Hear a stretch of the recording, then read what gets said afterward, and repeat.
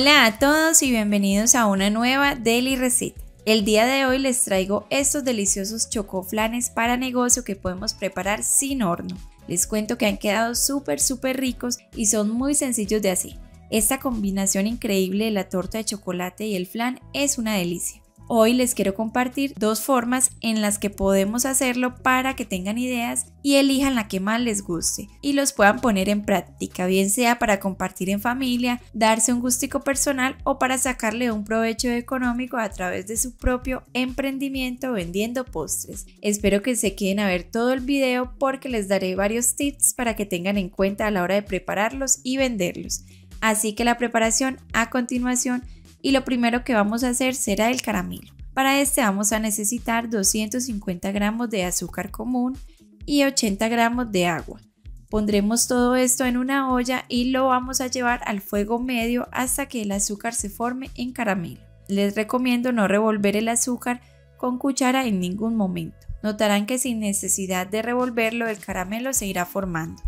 También tengan mucho cuidado preparando este caramelo ya que esto coge mucha temperatura. Si ven que en algún momento hay un bultico de azúcar que no se va disolviendo, con mucho cuidado lo que haremos será coger la olla y moverla un poquito. Y seguiremos esperando hasta que el caramelo tome el color deseado. Debemos estar muy pendientes porque el color va a cambiar de un momento a otro.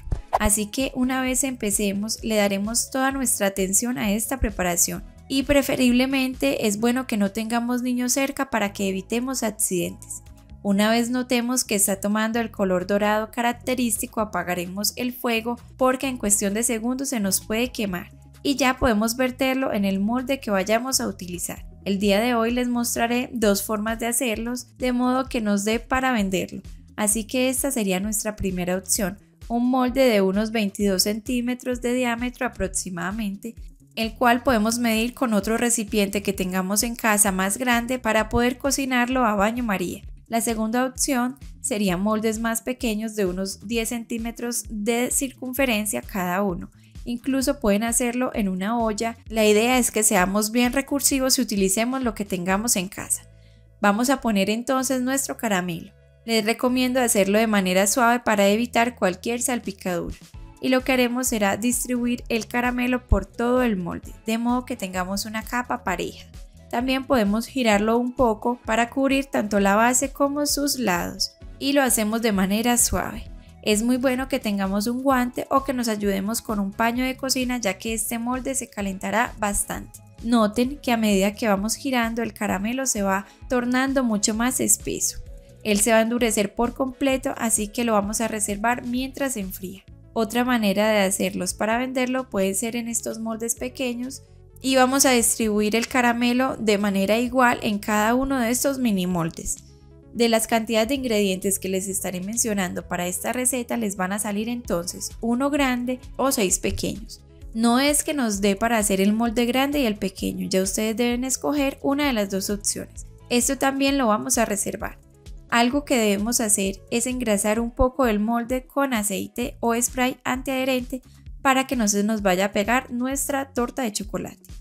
Ahora prepararemos nuestro flan y para esto vamos a necesitar 600 mililitros de leche, 6 huevos, 350 gramos de leche condensada que pueden reemplazar por 150 gramos de azúcar, 100 gramos de queso crema, una cucharadita de esencia de vainilla. Y lo que haremos es muy sencillo. En el vaso de la licuadora vamos a poner el queso crema y la leche condensada o el azúcar. Y vamos a licuar unos segundos para que el queso crema se suavice un poco, pero solo unos segundos. Luego agregaremos la leche, los huevos y la cucharada de esencia de vainilla. En este caso voy a utilizar una cucharada de esencia de vainilla con sabor a caramelo pero si no la consiguen no hay ningún problema, esencia de vainilla normal. Vamos a licuar solo lo necesario para que los ingredientes se integren bien.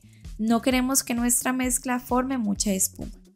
Apagamos la licuadora y vamos a reservar esto ya que vamos a preparar nuestra mezcla para torta de chocolate y para esta vamos a necesitar 120 gramos de harina de trigo, 30 gramos de cocoa en polvo sin azúcar, 150 gramos de azúcar común, 150 gramos de mantequilla sin sal, 5 huevos y una cucharadita de esencia de vainilla.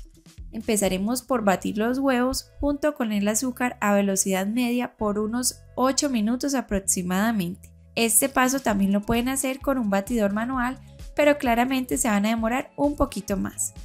Le agregaremos también la esencia de vainilla y lo que necesitamos es que estos huevos lleguen a punto de letra, que es cuando han triplicado su volumen, la mezcla se nota mucho más clara y mucho más espesa, tan espesa que si apagamos la batidora con la misma mezcla podemos dibujar y notaremos la figura o la letra que hagamos. Entonces en este punto está perfecto. Ahora lo que haremos será tamizar la harina de trigo y la cocoa. Como pueden notar en esta ocasión yo no utilizaré polvo para hornear, ya que con la consistencia que obtuvimos de los huevos nuestro bizcocho tendrá muy buena esponjosidad. Y la verdad es que no me gusta que esta capa crezca demasiado para que las dos queden parejas, pero si quieren pueden agregar una pequeña cucharadita. Vamos a ir integrando con movimientos suaves y envolventes para no bajar el aire que obtuvimos de los huevos, hasta que notemos que no hay restos de harina. Y por último vamos a derretir la mantequilla y se la vamos a agregar. Continuaremos mezclando hasta que ésta se integre muy bien. Si ustedes prefieren pueden hacer este postre con esas cajas que venden de chocolate de premezcla pero a mí me parece mucho mejor si lo preparamos desde cero todos nosotros mismos. Así que teniendo la mezcla de chocolate y la mezcla de flan traeré el molde o los moldes. Como notarán el caramelo ya está bien frío y endurecido. Así que para nuestro chocoflan o pastel imposible empezaremos por poner la capa de mezcla de chocolate. Acá está la magia de este postre, que a pesar de que ponemos primero esta capa, esta cambiará su lugar con la capa del flan. Así que con un colador iremos colocando de manera muy suave. No queremos que todo se revuelva y nuestro chocoflan no nos resulte. Notamos cómo lentamente van tomando sus lugares. Esto por un tema de densidades. La capa de chocolate va a subir y la del flan estará en el fondo junto al caramelo. Dejaremos esto reposar 10 minuticos antes de llevarlo a cocinar. Si lo hacen en los moldes pequeños van a verter la mezcla de la misma manera primero la de chocolate y luego la del flan, pero de manera muy suave. No se apresuren haciendo este paso. La idea es que cada molde nos quede con las mismas cantidades y podemos tapar los moldes con papel aluminio. Les recomiendo tapar extremadamente bien los moldes, lo más sellados posibles, ya que no queremos que entre ni una gota de agua porque se nos puede dañar nuestra preparación. Lo que haremos a continuación será ponerlos en un recipiente más grande, como les mencioné al principio. En el caso de que preparen el chocoflan grande, como este, si tienen en casa una rejillita que puedan poner en la base, me parece que de esta manera protegemos mucho el flan de que tenga más contacto con el calor directo, ya que este molde cuadrado no es muy grueso pero si no lo tienen no hay problema. Vamos a llenar esto entonces de agua bien caliente, ya el agua debe estar caliente y vamos a procurar que esta agua llegue a la mitad del molde que contiene el chocoflan. Taparemos entonces también este molde cuadrado o la olla donde ustedes lo estén haciendo y llevaremos esto a cocinar a fuego medio por aproximadamente una hora y media. Recuerden que cada estufa trabaja a su ritmo así que puede que estén en este mismo tiempo o que se demore un poquito más. Si lo hacen en los moldes de 10 centímetros, hacemos lo mismo.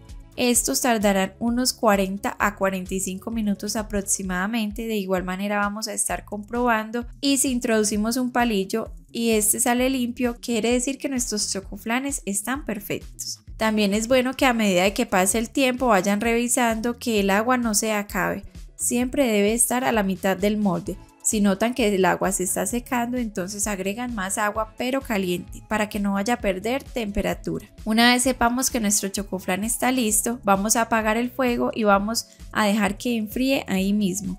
Cuando esté a temperatura ambiente lo podemos pasar a la nevera por unas 4 horas aproximadamente o preferiblemente hasta el día siguiente para que no corramos el riesgo de que se nos dañe. Una vez esté frío lo podemos desmoldar y si no se ha despegado del molde lo ayudaremos con la punta de un cuchillo.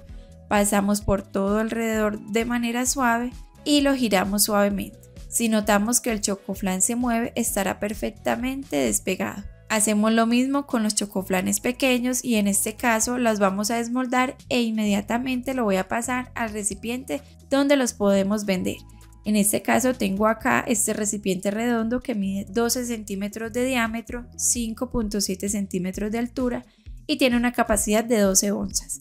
Y noten qué perfecto queda. Se puede distinguir muy bien la capa del flan y la capa de bizcocho de chocolate. Como les mencioné, saldrán 6 de estos chocoflanes y los pueden vender de esta manera o ponerlos en platicos y exhibirlos en mesas de dulces. En el caso del chocoflan grande lo podemos partir o venderlo entero, ya ustedes escogen. Les cuento que para hacer este chocoflan grande o los 6 pequeños yo gasté 24 mil pesos colombianos, unos 6 dólares al cambio del día de hoy.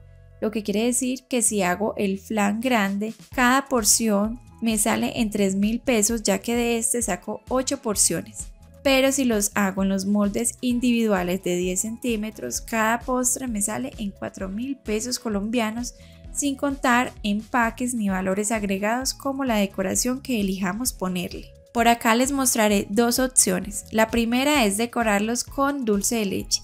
Esta decoración es súper sencilla, pero hará que se vean muy llamativos, muy provocativos, además de que el dulce de leche les combina súper bien a este postre. Si quieren saber dos formas de preparar su propio dulce de leche en casa, por acá les dejaré el enlace de ese video para que se animen a hacerlo y decorarlo de esta manera. Terminaremos poniendo una fresa y díganme si no se les antoja.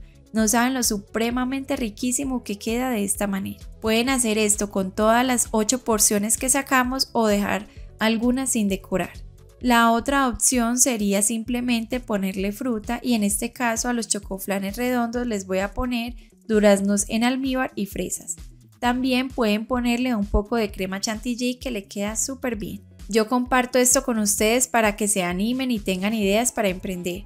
Ya ustedes van a manejar el precio de venta, tengan en cuenta también los costos del gas y la energía y si tienen dudas, acá les voy a compartir el video donde les explico cómo sacar costos, precios de venta y ganancias de sus propios productos hechos en casa, ya que a cada uno les puede variar los costos dependiendo del lugar donde vivan. Como sea que decidan presentarlos, acá tienen un super postre para darse un gustico personal o para emprender hecho sin horno y el resultado es supremamente increíble. Está deli. Si les ha gustado este video, no se olviden suscribirse, darle me gusta, activar la campanita para que no se pierdan ningún nuevo video, compartirlo en sus redes sociales, con amigos que quieran emprender. Con esto me apoyarían muchísimo y nos vemos en una próxima Daily Receta. Chao.